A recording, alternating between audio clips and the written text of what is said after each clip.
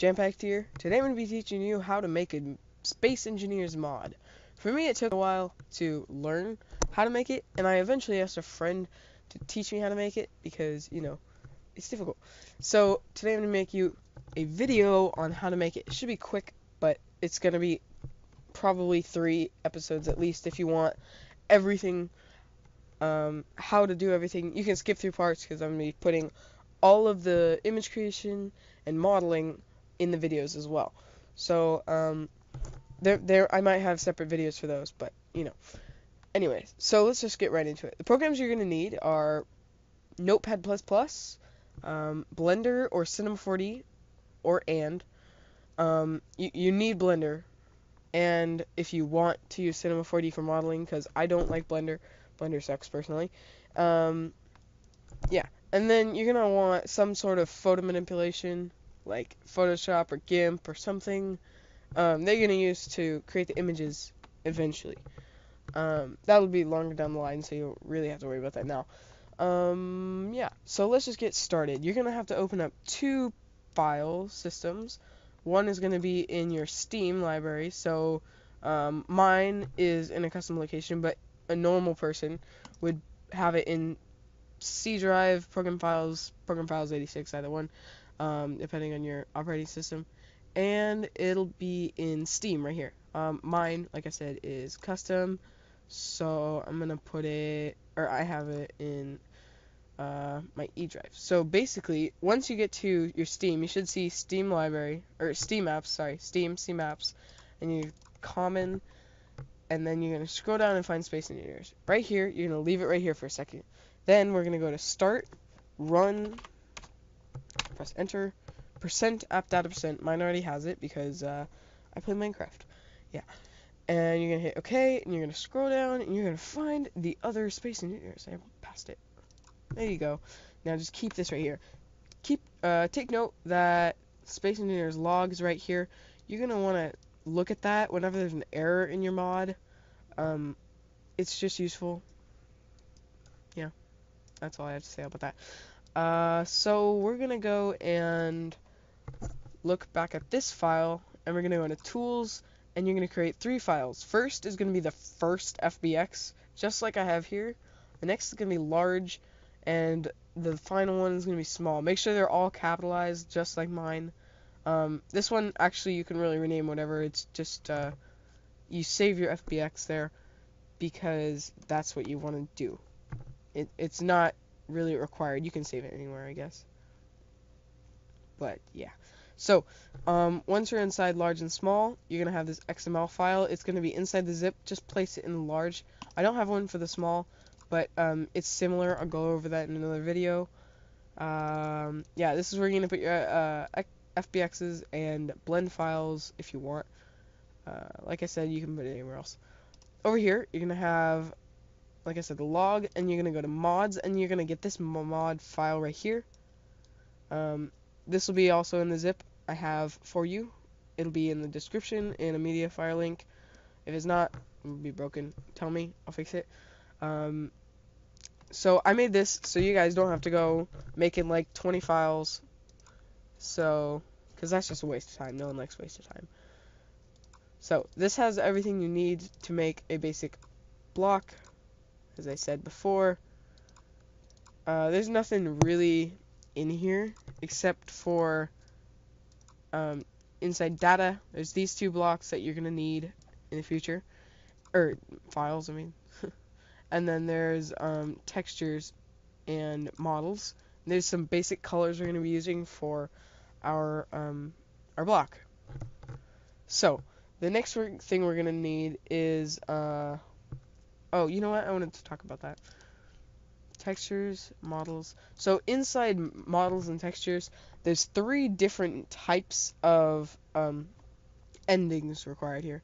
Now these there's only there's actually three here, but um, there's only two on each. You can use either ME or DE for um, the first texture and then the second one is NS. Every texture needs an NS. It's basically the bump map. If you know what that is, it's uh, normal. Or if you don't know what that is, it's a normal map. I call it a bump map just because. Um, the DE stands for diffuse emissive. It's a glow without a glow, if you know. Like uh, the interior block, it's got like a white little light on it. I say light loosely because it's not really glowing. Um, but yeah, that that's what that's what um, DE uses. So then the ME is mask emissive. It's recolorable texture.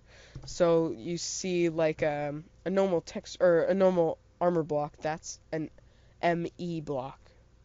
An M like M- Mike, I believe it is. Yeah, Mike.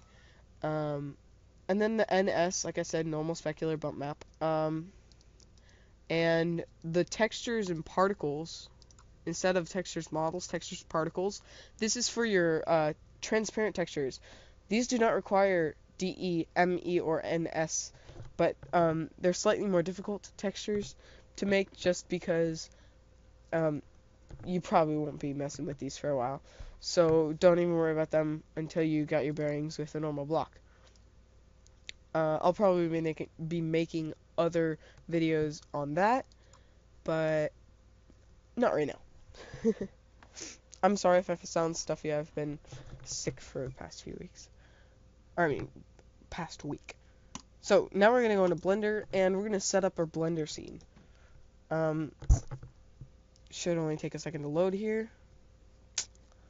Now I already have it set up, but what you're gonna do is here. Let's reset.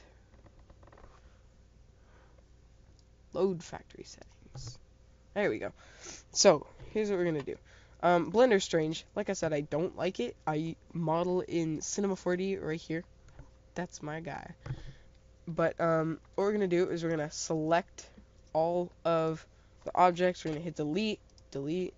And then we're going to go um, to the right, the little world icon. We're going to go to delete the little world icon. And then um, we're going to go to the render tab right here, which is the little camera and then we're gonna go to uh, resolution. We're gonna change it from 1920 by 1080. We're gonna change it to 128 by one by by 128, and then we're gonna make um, the scale to 100 instead of 50. And then you turn anti-aliasing off. Oh no, I mean sorry, on. Turn it 16, and you're gonna make um, full sample checked right here. Next thing we're to do is go to shading channel shading channel hmm, no you're to change the alpha from sky to transparent and then you're going to go to output down here and you're going to make it from 8 to 16 and then next to the grid in the middle um, you're going to press N um, N, and that should bring up this window. Uh, you might have to scroll up a little bit. I don't know why it bugs out for me. Um, you're gonna change the color. Wait, no, we already did that. Whoops. Um, we're gonna change the display lines here from 16 to 5, and then the scale to 1.25 and then subdivisions to 1. Now, one large block is four of these. I think you have to rescale to make a small block because that only makes sense, but um, just just like I said, I'll make it in another video. Just think one of these is one large block. I mean, four of these is one large block. So each one of these is a quarter of a large block. The next thing is we're going to do um, down here. Next thing we're going to do down here, this animation window. Oh. Uh, this is totally useless as Blender cannot yet export animations um, for space engineers. So we're going to go down here and we're going to go to UV image editor. And now you can see all of the unwrapped um, objects or all, your unwrapped object here. Um, Next thing is gonna be you're gonna go to File, Save. Sorry, if you um, are gonna be using Cinema 4D with me, I'm gonna be doing this separately, so you don't even really have to worry about this. Just make sure it's selected like this. Um, yep. Go to File, Save Startup File, and then actually I'm gonna move this down, just because. Then you go back to File, Save Startup File. Don't move your mouse, just click again. And that should be everything to get you started in Blender. Um, every time you start Blender now, it'll open up like this, and like in the beginning when I restarted Blender, all you have to do to get back to the uh, original settings is load factory settings, and I think you can do user preferences. No, never mind. Um, but yeah, now now this is saved, and every time you load Blender up, it'll be this. So this has been episode one.